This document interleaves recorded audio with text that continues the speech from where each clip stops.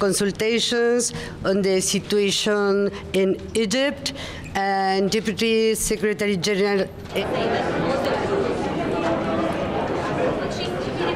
Today, the government of Argentina condemns the brutal repression against popular demonstrations that filled the streets of the main cities of Egypt.